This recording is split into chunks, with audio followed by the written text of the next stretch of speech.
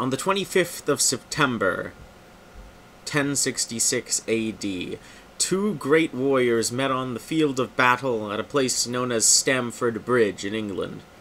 On one side there was the great Varangian conqueror, King of Norway, Harald Hardrada, come to press his claim on England through his relation to King Canute of Denmark. On the other side was Harold Godwinson, King of England, a loose alliance of kingdoms that had been forged into one larger kingdom, but still he did not have all of the loyalty of his men.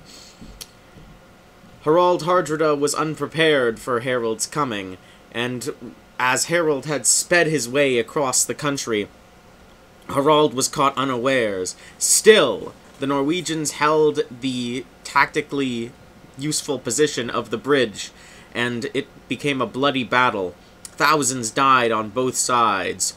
However, at the end of the day, Harold Godwinson stood victorious over Harald, having fulfilled his promise of defeating Harald in combat and giving him only six feet of English land, plus however much he was taller. In a show of generosity, Harold allowed the Norwegians to take whatever their remaining number was back to their boats and leave his land. Then, on the 15th of October of the same year, came a battle at Hastings. Harold Godwinson, having just defeated the Norwegians, had to rush his army on foot down to meet with the Norman fight, uh, the Norman force. Being only somewhat recovered from his losses, having to force march his army across the country, losing most of, most of his great fighters during the battle against the Norwegians, and having the Duke of York withhold his forces from the battle against the Normans, perhaps in some attempt to claim the throne for himself later. Harold was forced to make do with a much inferior force than he would have normally had. Many of the soldiers had practically no experience compared to their Norman counterparts, Norman knights who were well trained in the art of combat, descendants of Viking warriors who had plundered Normandy in the past.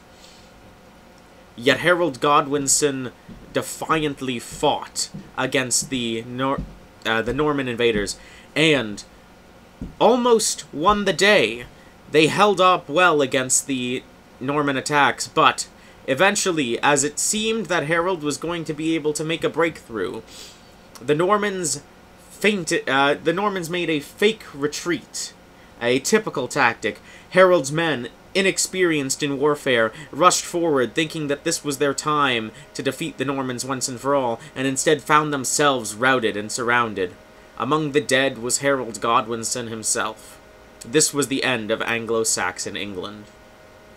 With this change, French became essentially the official language of the English court. Normans took up all of the land of England from their Anglo Saxon lords before, and a great transformation occurred in England. In no more than a few hundred years, the English language had completely changed from an inflected Germanic language to something closely resembling the English of modern day, though not in form necessarily in vocabulary, though the words are, of course, unrecognizable to many people. But Middle English uh, is much more like our language than the Anglo-Saxon spoken just a century before. The culture of England completely changed with the introduction of both French linguistic and law elements to England, but with it a host of problems. Dynastic disputes would run between the French and the English for years short, the history of Europe was changed forever. The future of Europe, where Britain would eventually become ascendant among all other powers, was written. But it didn't need to happen that way.